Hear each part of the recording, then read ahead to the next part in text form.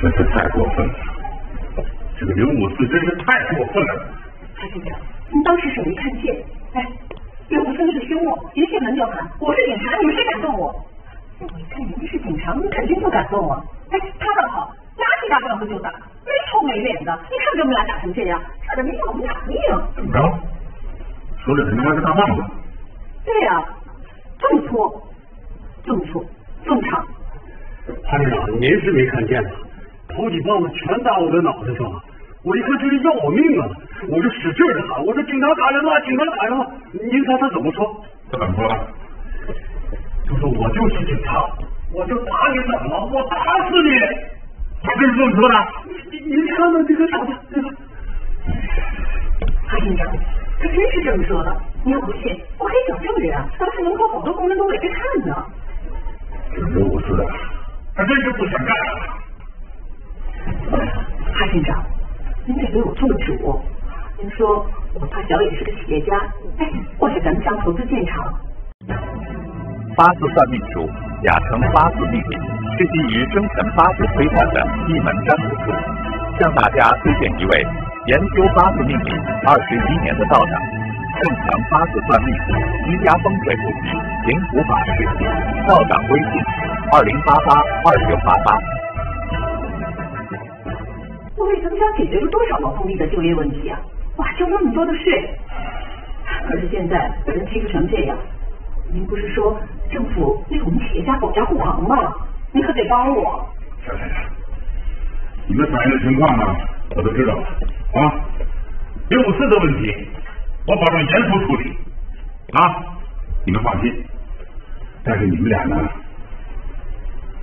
也注意点影响啊，是个很非常好，南京话太多了。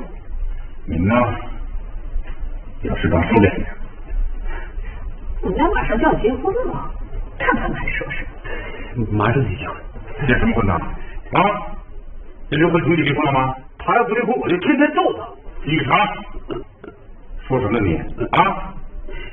这是家庭暴力，你要真这么干的话，我让派出所处理，你信不信？好，我不说不行，我不说。五四啊，五四。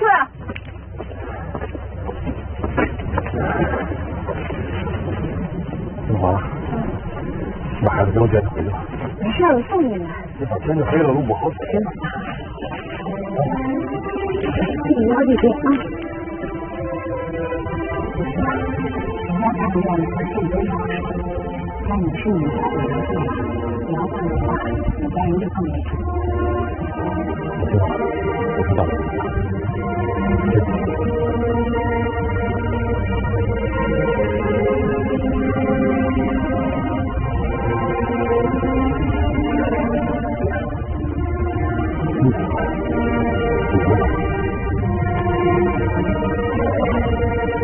可是你不住回家呀，住？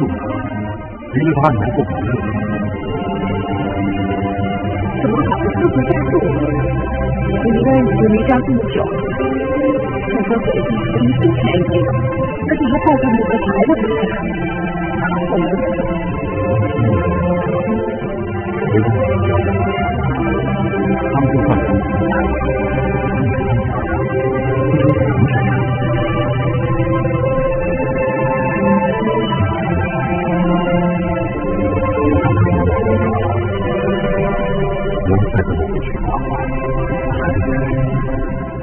赶紧跳出这火坑吧！